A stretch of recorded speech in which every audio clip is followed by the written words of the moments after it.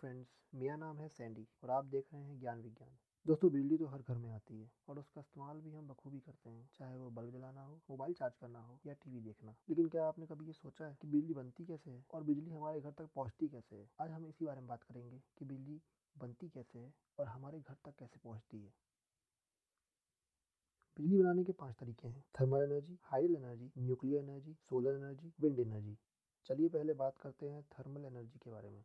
दोस्तों thermal energy में main raw material होता है कोल या फिर नेचुरल गैस इसमें कोल या फिर नेचुरल गैस को जलाया जाता है, जिसकी गर्मी से पानी को गर्म किया जाता है, ताकि उसमें से स्टीम यानी भाप पैदा हो सके। स्टीम अपने दबाव से स्टीम टरबाइन को घुमा देती है। इसके घूमने से जनरेटर एक्टिवेट होता है और इलेक्ट्रिसिटी बनती है।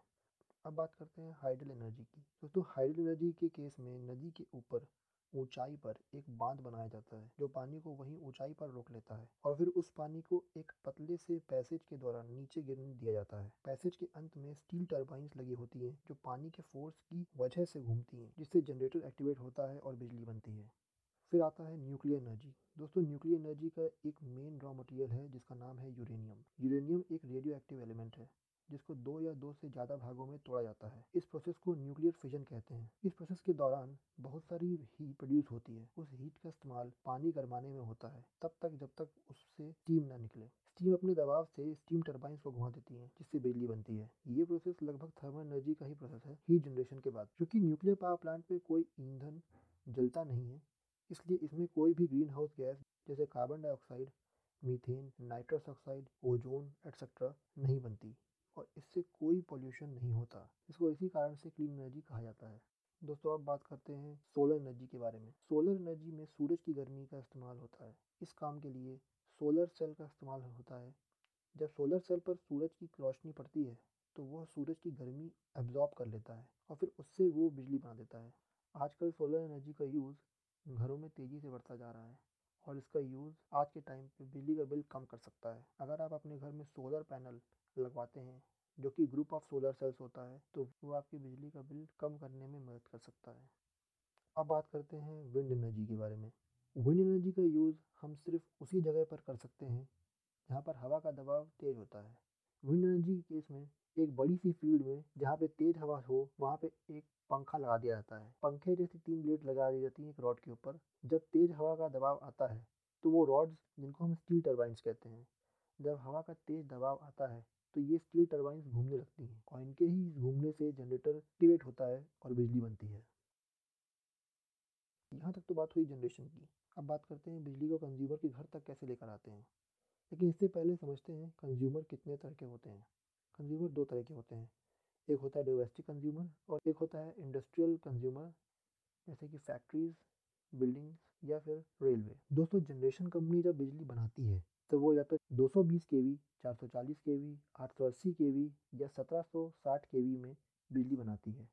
लेकिन ये इतना ज़्यादा वोल्टेज होता है कि इसको डायरेक्टली हम कहीं इस्तेमाल नहीं कर सकते। अगर हम डायरेक्टली इसको अपने घर में लेंगे तो हमारे घर के ज़्यादातर सामान तो फूक ही जाएँगे। इसीलिए जब बिजली की डिलीवरी होती है तो जनरेशन से लेकर कंज्यूमर तक पहुँचाने में दो कंपनियों का काम होता है। एक होती है ट्रांसमिशन और एक होती है डिस्ट्रीब्यूशन ये ट्रांसमिशन और डिस्ट्रीब्यूशन क्या होते हैं, पहले ये समझते हैं। जो ट्रांसमिशन कंपनी होती है, उसका ये काम होता है कि वो जनरेशन कंपनी से डिस्ट्रीब्यूशन कंपनी तक बिजली पहुँचाए। लेकिन उसको उसी फ्लो में बिजली को पहुंचाना होता है, जिस फ्लो में बिजली जनरेशन कंपनी ने प्रोड्यूस की है। जैसे कि अगर 440 केवी में बिजली बनाई गई है तो 440 केवी के ही वोल्टेज के साथ उसको डिस्ट्रीब्यूशन कंपनी तक पहुंचाना होगा। इसके लिए ट्रांसमिशन कंपनी जो है वो अपना सब स्टेशन लगाती है। अभी सब स्टेशन क्या होता है? सब स्टेशन का मतलब ये होता है कि एक पर्टिकुलर जगह, एक पर्टिकुलर प्लेस जहाँ पे जहाँ पे ट्रांसमिशन कंपनी अपने ट्रांसफार्मर्स को रखेगी। ये ट्रांसफार्मर्स वो होते हैं जिनकी मदद से वोल्टेज को कम ज़्यादा या फिर मेंटेन किया जा सकता है। तो अगर 440 केवी में या 880 केवी में बिजली प्रोड्यूस हुई है, उसको डिस्ट्रीब्यूशन तक उसी फ्लो में, उसी वोल्टेज के साथ बिजली पहुँचाने के लिए ट्रांसफार्मर्स का इस्तेमाल होता है। ये ट्रांसफार्मर्स जगह जगह लगाए जाते हैं। अब जब बिजली डिस्ट्रीब्यूशन तक पहुँच गई तो डिस्ट्रीब्यूशन कंपनी का काम होता है कि वो उसे कंज्यूमर तक पहुँचाए। तो कंज्यूमर तक पहुँचाने के लिए भी डिस्ट्रीब्यूशन कंपनी अपने ट्रांसफार्मर्स लगाती है। कोई कंज्यूमर डोमेस्टिक कंज्यूमर जो है, जैसे हम लोग, और इंडस्ट्रियल कंज्यूमर जैसे फैक्ट्रीज डोमेस्टिक कंज्यूमर जैसे हम लोग 440 केवी या 880 केवी की बिजली तो इस्तेमाल करेंगे नहीं। हम लोग तो कभी वोल्टेज वाली बिजली इस्तेमाल करते हैं। तो उसके लिए हमारे लिए अलग तरीके का एक ट्रांसफार्मर लगाया जाता है। डोमेस्टिक एरिया के पास। जो डोमेस्टिक एरिया होगा, जहाँ बिजली भेजनी होगी, वहाँ पे अलग तरीके के ट्रांसफार्मर लगता है। उस ट्रांसफार्मर का इस्तेमाल बिजली का वोल्टेज कम करने के लिए और उसको वहीं पे मेंटेन करने के लिए किया जाता है। तभी हम लोग को सेम फ्लो में कम वोल्टेज में बिजली मिलती है। उतना कि हमारे लिए सफिशेंट हो कि हम काम कर सकें। इसी तरह जब इंडस्ट्रियल कंज्यूमर या फिर रेलवेज़ के पास बिजली पहुँचाई जाती है तो उनके लिए अलग तरीके का एक ट्रांसफार्मर लगाया जाता है। जो उस फ्लो में बिजली को मेंटेन करता है, जिसमें उनको चाहिए। उनको हाई वोल्टेज की बिजली चाहिए होती है। रेलवेज़ में तो आप जानते ही हैं कि मेट्रो या इलेक्ट्रिक ट्रेन जो भी हैं, जो चलती हैं, उनको हाई वोल्टेज की बिजली चाहिए होती, तभी वो चल पाएँगी। तो उसके लिए उसी प्रकार का ट्रांसफार्मर लगाया जाता है और उसी ट्रांसफार्मर का इस्तेमाल फिर किया जाता है, ताकि बिजली का फ्लो मेंटेन रहे वोल्टेज भी मेंटेन रहे और उसी वोल्टेज में बिजली इनको मिलती रहे।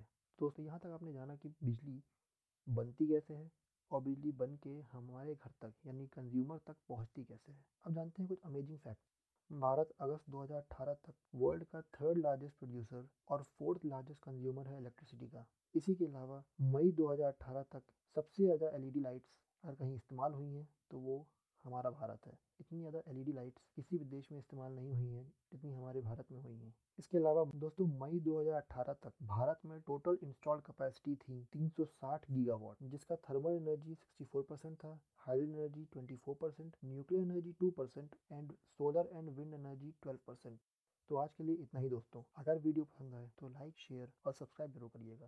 Thanks for watching